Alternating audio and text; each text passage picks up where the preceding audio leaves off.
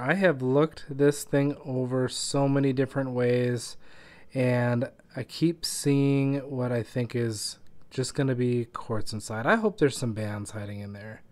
But as far as exposed windows and how to cut it, it this is kind of a tricky one for me. So I was thinking either right through here because it's pretty thick all the way down or right through here.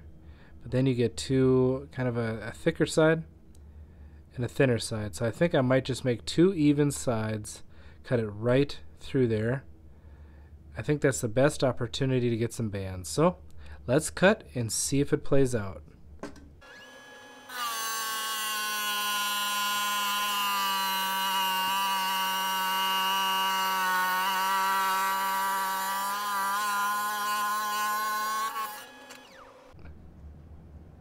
Oh, it does have some bands and they're really pretty.